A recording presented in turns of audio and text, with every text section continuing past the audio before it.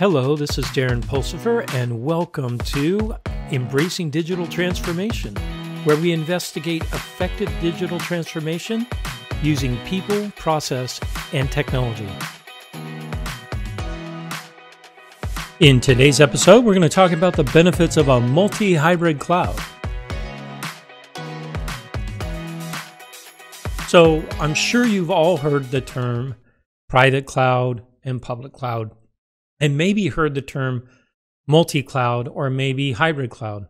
Today, we're going to um, discuss the benefits of these different types of clouds, and specifically what we call the multi hybrid cloud, which means running across multiple types of clouds, whether it's multiple public clouds or multiple public uh, private clouds, and the benefits to doing that. But let's first take a look at looking at benefits of private cloud. So when I talk about private cloud, some of the benefits that always pop to the top are security, efficiency, and something I call predictive performance, which I'll talk about later.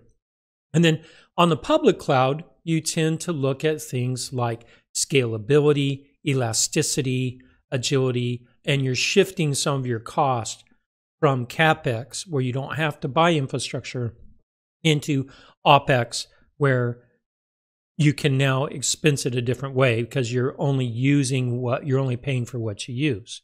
So there's benefits to both sides. So if we combine the two together and we come up with an architecture that supports both public and private cloud, then I can take advantage of some of the benefits of both. So that's what we're going to look at today. So let's take a look at uh, the multi hybrid cloud. So if I look at multi-hybrid cloud, the benefits that really perk up really great are agility, flexibility, predictive performance, security, and efficiency. So we'll go through each one of these. These are great uh, ways to um, tell your management when you're looking for funding for a multi-hybrid cloud.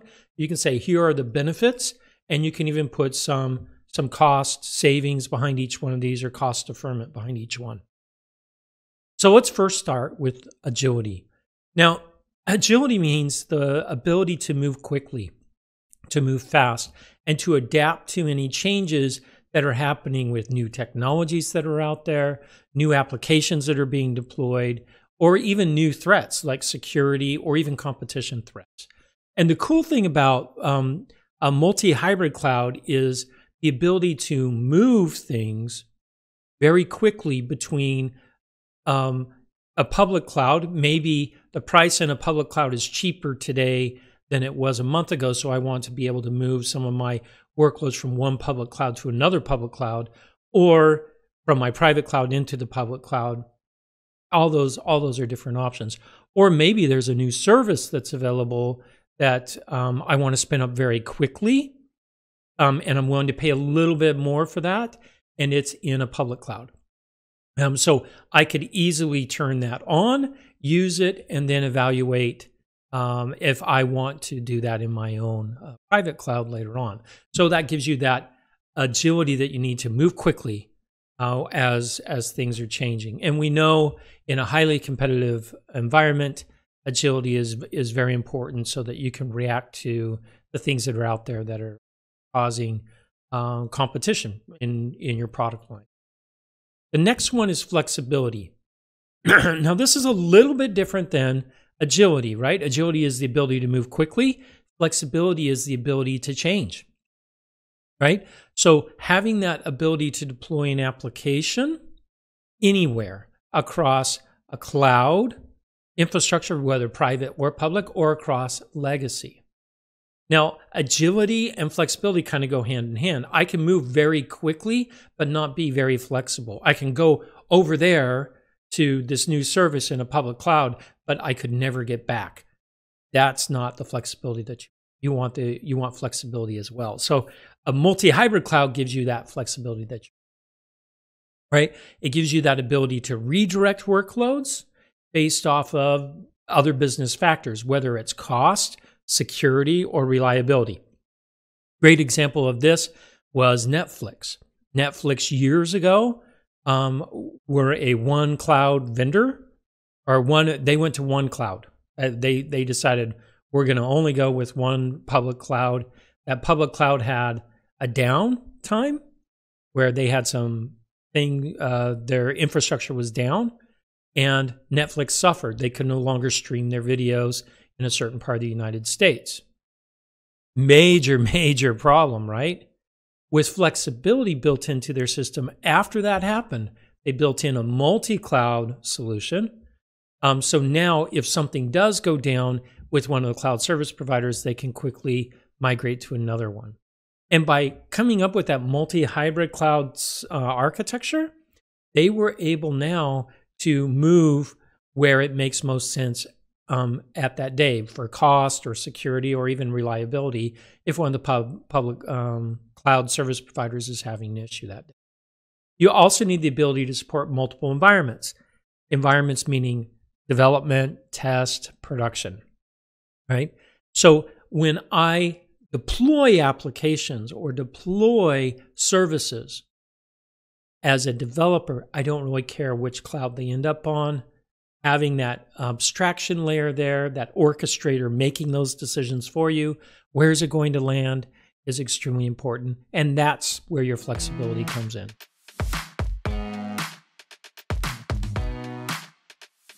So let's take a look at the next one. And this one is great.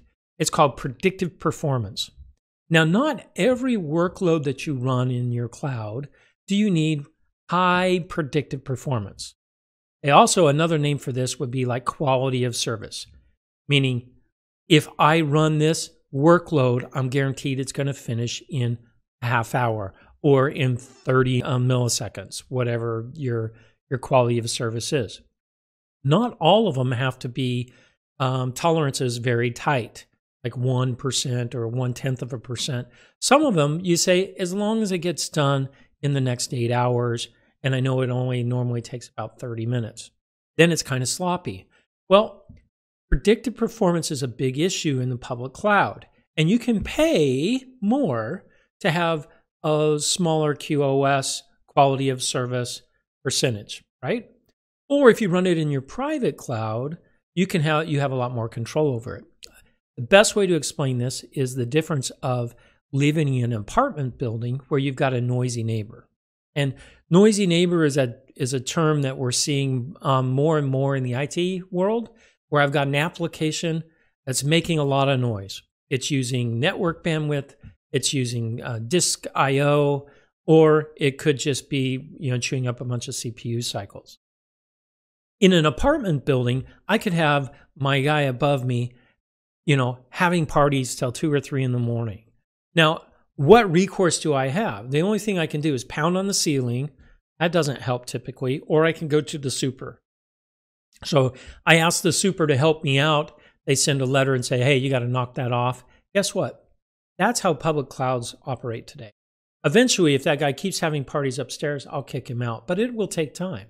So your quality of service could suffer during that time. In a private cloud, because you own the infrastructure and you know everyone that's there, it's like having a house full of kids.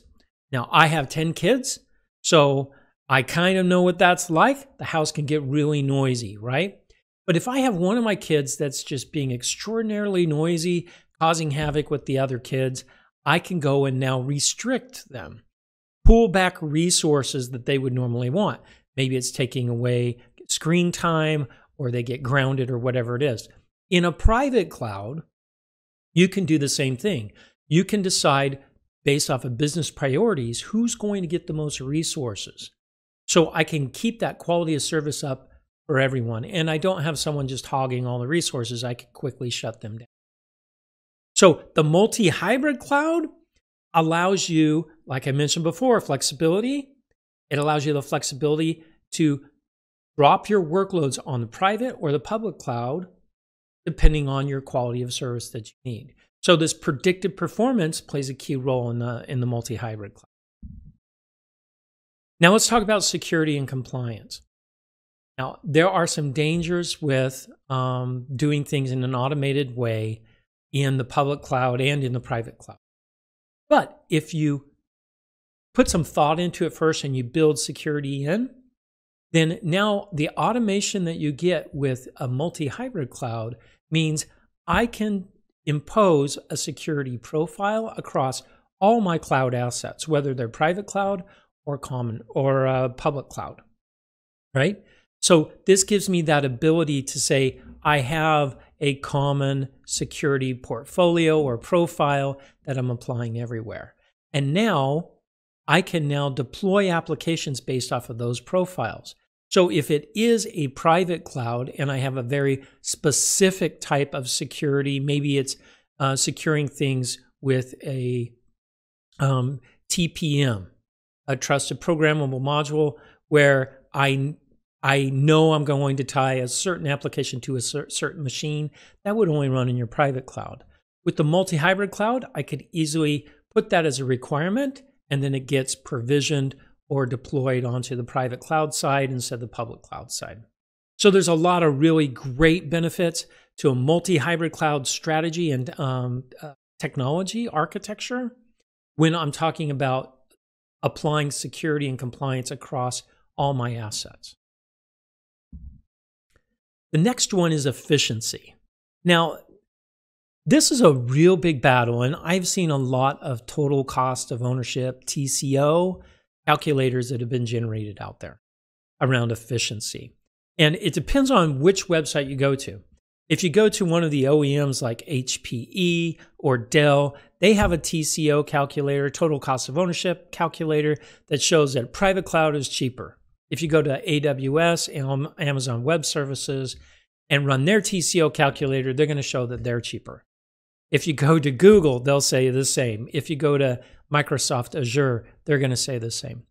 What I have found is that with a multi-hybrid cloud solution and a intelligent orchestrator, I can get telemetry off of my private and my public clouds, which contain cost information, utilization numbers, all that stuff.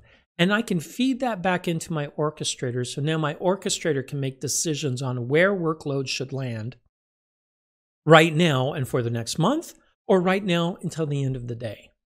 So this gives you the benefit of, of optimizing where your workloads land. Now, another benefit as well is not all applications need to run 24 7. I know we think they do, and we program things so that they are running 24 7 all the time. But with this new model, um, in the multi hybrid cloud, as well as in just public cloud and private cloud in general, I should be able to spin up applications when they're needed and tear them down when they're not. Um, a great example of this is something that um, we did up in the Canadian government. Instead of running 24 7, they run an 18.5, meaning their application, this one application specifically, ran 18 hours, five days a week. And all that other time, they actually turned it off. And people didn't use it during that time, so no one missed it. But they saved on all the costs, all the consumption costs that you get in the public cloud. Right? This was a huge benefit because when they started running before, they found that their public cloud was more expensive than their private cloud because they were running this application even though people weren't using it. Um, making sure that you have, with the multi hybrid cloud, visibility into all your resources, how they're being used. Do you have zombie applications out there, zombie uh, services out there that are just chewing up money doing nothing? You should know about those things so that you can pull them off, get rid of them, end of life those applications and workloads because they are actually costing you real dollars.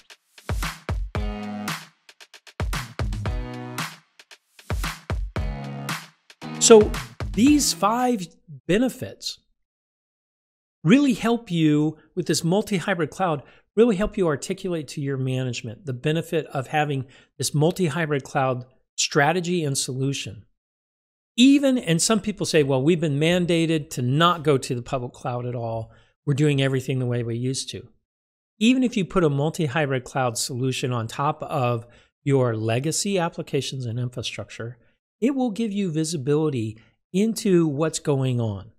You can play around with your security because now you have a common security plane. You can look at efficiency, flexibility, and agility all have a role, whether you're in one of these domains, like legacy applications and infrastructure, or in two or all three private cloud, public cloud, and now here's a picture of here's a picture in your head of what it means to have a multi-hybrid cloud. It means that my development teams, when they drop applications into the multi hybrid cloud, they don't really know where it's running. Is it running in the private cloud? Is it running in the public cloud? Is part of it running in legacy? Application developers really don't want to know how to do that stuff. They want something underneath the covers that handle that. Now, IT, they don't want to hand do anything. And they, they kind of get tired of developers just messing up their infrastructure. So they need an automated way to manage what's going on in their infrastructure, both in their legacy, in their private cloud, and in their public cloud as well. So they want, and they're going to focus on optimizing, protecting uh, their infrastructure and reliability of their infrastructure.